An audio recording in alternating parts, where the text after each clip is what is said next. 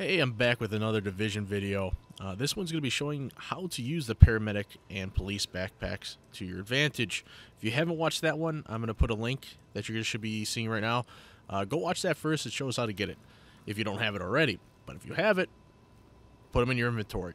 So, right now, I had to go ahead and expel all my ammunition so I can actually show how this works. And also use all my med kits. If I go in my inventory, you're going to see I'm using my normal backpack. I know it sucks, give me a break. But I do have the paramedic and police backpack still in my inventory to use. So first, I'm just going to do a regular, what everybody does when they're in the safe house. They restock. Or maybe not. So normally I get 116 marksman ammo and 870 um, SMG ammo. Plus, I get five med kits. This is what the med kits only happen when you restock in a safe house. Remember that. Anyways, the first thing you want to do is equip the paramedic backpack. If you look on the my back, it definitely is the paramedic one. You go up to the restock box, and look at that. I can restock again, even though I just restocked. Let me hit it again. Oh, now I have, if you look in that right corner, bottom right, I have seven med kits on me. Now, well, let's try this. I want more ammo. Equip the police backpack. If you look on my back, there's the police backpack. Let's go back and restock. Wait, I can restock again. go ahead and restock.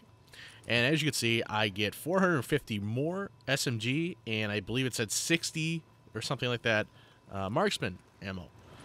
So right now, I have 13 1,320 uh, bullets for my SMG.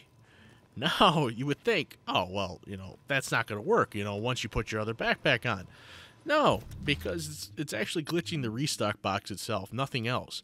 So once I put my rush backpack on, it's just going to say I can't restock because I'm full.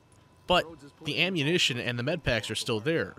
There's nothing like it's just it's just glitching the restock box and thinking, oh wait, he's got this backpack on that says this is the max, so that's all it looks for. It doesn't say, wait, he has more med kits than he should, or if you put the other one on, oh, he has more ammunition than he should. It only adds what you're missing based on your current attributes, your character attributes, uh, based on what you're wearing and everything else. So that's the glitch. It's very simple to do. Once you get the backpacks, you now just have to make sure you do not delete these or, you know, deconstruct them. So you're just going to have to always keep that in the back of your head. Like, okay, watch, make sure you don't do that. I actually scared myself doing that. Just don't deconstruct them because I don't know if you can get them back, to be honest. I'm not going to test it. you guys can go ahead and do that. So, yeah, uh, thanks for watching. I hope this helps you guys out. Um, is it a glitch? Sure, I don't care. I really don't. Um, so, yeah, have at it.